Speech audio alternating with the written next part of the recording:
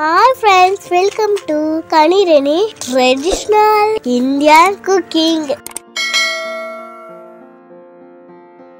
அன்பார்ந்த என் சகோதர சகோதரிகளுக்கு என்னுடைய அன்பார்ந்த வணக்கம்.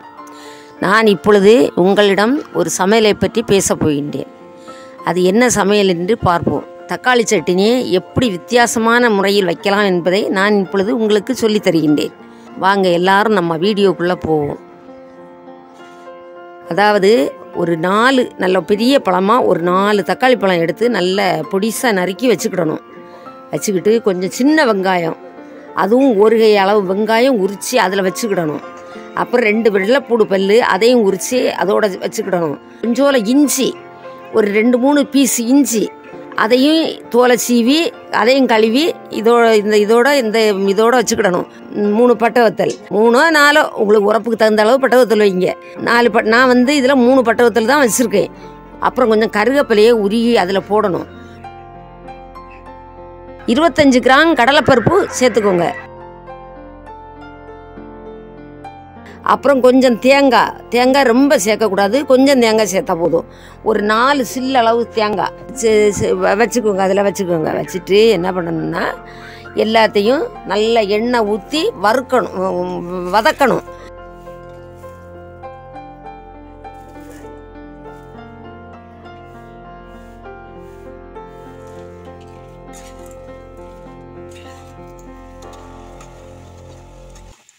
உப்பு தேவையான அளவு உப்பு.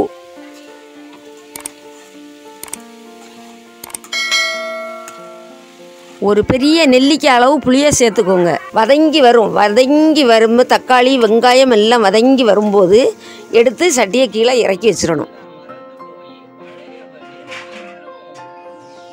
இறக்கி வச்சுட்டு அப்புறம் இதையெல்லாம் என்ன செய்யணும்னா ஜாரில் போட்டு நல்லா அடிச்சிடணும். ஜாரில் போட்டு நல்லா அடித்து வச்சுட்டு வடச்சட்டியை அடுப்பில் வச்சு ரெண்டு டீஸ்பூன் எண்ணெயை ஊற்றி அதில் கடுகு கருகப்பிலை இது உளுந்தம்பருப்பு உளுந்தம்பருப்பு இருக்குல்ல அந்த உளுந்தம்பருப்பை வந்து நீங்கள் க க இது கரை விட்டுறக்கூடாது. அது செவந்து வந்த உடனே இந்த நம்ம ஜாரில் அடை அரைச்சி வச்சுருக்கோம்ல விழுது அதை ஊற்றணும் அடைச்சட்டியில் அந்த எண்ணெயில் ஊற்றிடணும் ஊற்றிக்கிட்டு நம்ம தேவையான அளவு தண்ணி நமக்கு எவ்வளோ தண்ணி வேணுமோ அந்த அளவு தண்ணி ஊற்றினா போதும்.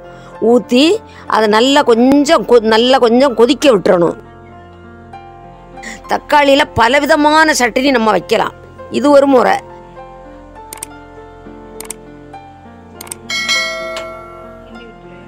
கொஞ்சம் நல்லா கொதிச்சா அதில் இருக்க அந்த பச்சை ஸ்மெல்லாம் போயிடும் நல்லா கொதிக்க விட்டு நல்லா கிண்டி கொடுத்துடணும். அந்த பச்சை வாடை போயிடும் போன பிறகு இறக்கி வச்சு இறக்கி வச்சிடணும்.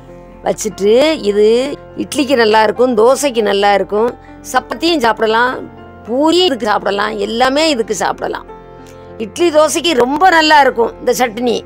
இது நல்லா நான் வீடியோவில் தெளிவாக உங்களுக்கு போட்டிருக்கேன். நானும் தெளிவாக சொல்லியிருக்கேன். நீங்கள் இதை செஞ்சு பாருங்கள் இதை செஞ்சு பார்த்துட்டு எப்படி இருந்துச்சுன்னு கமெண்ட்ல சொல்லுங்க. தேங்க்யூ பாய் பாய் எனக்கு சப்ஸ்கிரைப் பண்ணுங்க. இன்னொரு நாளைக்கு இன்னொரு சமையலை பற்றி உங்களிடம் நான் பேச போகிறேன் பேசுவேன். Thanks for watching.